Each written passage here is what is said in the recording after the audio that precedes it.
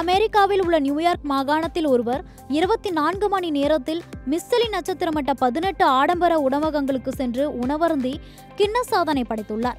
முப்பத்தி நான்கு வயதான ஹெரிக் ஃபிங்கல்ஸ்டீன் உணவு உண்பதையே பொழுதுபோக்காக கொண்டு செயல்பட்டிருந்தார்.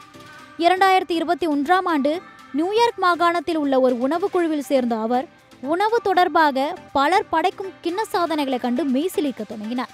இதையடுத்து தானும் உணவு தொடர்பாக வித்தியாசமான முறையில் கிண்ண சாதனை படைக்க விரும்பின அவர் ஒரே நாளில் அதிகமான மிஸ்தலி நட்சத்திரமிட்ட உணவகங்களில் உணவு உண்ண முடிவு செய்திருந்தார். இதற்காக எண்பதிற்கும் மேற்பட்ட மிஸ்தலி நட்சத்திரமிட்ட உணவகங்களில் தொடர்பு கொண்ட போது பத்து உணவகங்கள் மட்டுமே அவருக்கு அனுமதி அளித்தது. ஆனால் கடந்த ஆண்டு வெளியான மிஸ்தலி நட்சத்திரமிட்ட உணவகங்கள் பட்டியலில் அவருக்கு அனுமதி அளித்த பத்து உணவகங்களில் நான்கு உணவகங்களுக்கு மிஸ்தலி நட்சத்திரம் பறிபோனது. ஆனால் விடாமல் முயற்சி செய்த அவருக்கு மேலும் சில உணவகங்களில் அனுமதி அளிக்கப்பட்டது. எரிக் ஃபிங்கல்ஸ்டினை இந்த கிண்ண சாதனை புரியும் போது அவர் செல்ல இருக்கும் அனைத்து உணவகங்களுக்கும் அவர் பொது போக்குவரத்து தளங்கள் அல்லது நடந்தே செல்ல வேண்டும்.